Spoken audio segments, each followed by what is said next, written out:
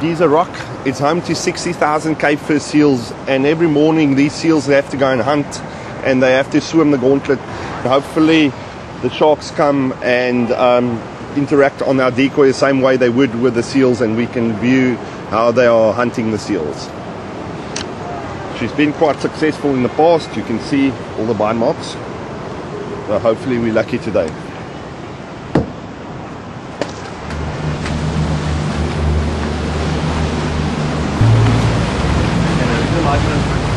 Traveling at approximately 38 miles an hour when they hit a 38 seal miles that, an hour. or that decoy. So that's why they're coming out of the water because they simply they can't stop. They can't stop. Quite impressive to see. And do they hope to grab the seal i it, or just stun it and then grab it? Well, grabbing the seal would be a very good start, but to demobilize it is the objective, I believe. Mm. They want to stop the animal. If they got it or not, they can turn around if the animal's stopped. Wow.